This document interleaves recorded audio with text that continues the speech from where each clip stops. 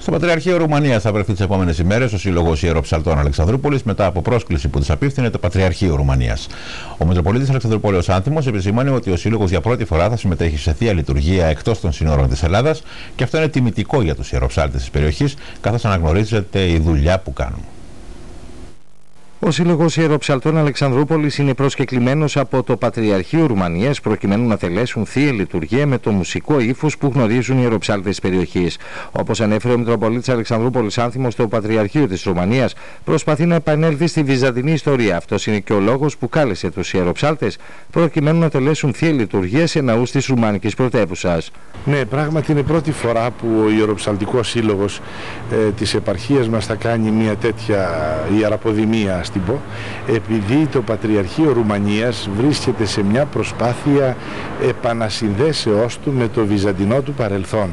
Τα χρόνια που προηγήθηκαν ε, έδωσαν αφορμή η σχέση τους με την Ευρώπη να μετατρέψουν τη βυζαντινή τους μουσική την οποία είχαν έτσι όπως κληρονόμησαν από το Βυζάντιο και τη μουσική όπως κληρονόμησαν και την Ορθόδοξη Θεολογία.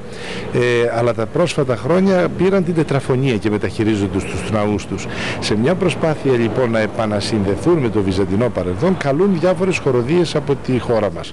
Έτσι δεχτήκαμε τιμητικά μια πρόσκληση και από το Πατριαρχείο και από μια αρχιεπισκοπή του προκειμένου να πάει η χοροδία μας εκεί και να τελέσει μια θεία λειτουργία με το γνωστό μουσικό ύφος που έχουν οι αεροψάλτες στην περιοχή μας.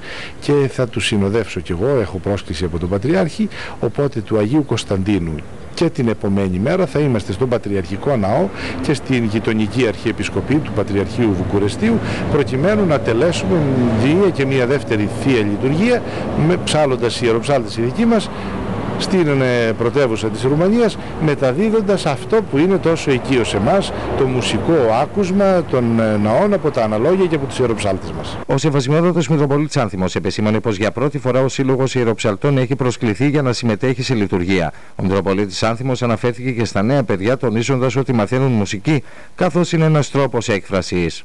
Πρώτη φορά είναι. Δεν έχουν ξαναπάει ποτέ, δεν χρειάστηκε, δεν υπήρξε και άλλη ανάγκη και γι' αυτό το χαίρομαι και προσωπικά αλλά είναι και μια καταξίωση για τους ψάλτες μας οι οποίοι αγωνίζονται, κουράζονται και οι ίδιοι να στελεχώσουν τα αναλόγια αλλά και με όλη τους την καλή διάθεση να διδάξουν και στα μικρότερα παιδιά που βλέπετε και θέλουμε πάντοτε να είναι δίπλα τους ώστε να μαθαίνουν και εκείνα αυτά, αυτή την ιερή τέχνη που θα είναι χρήσιμη.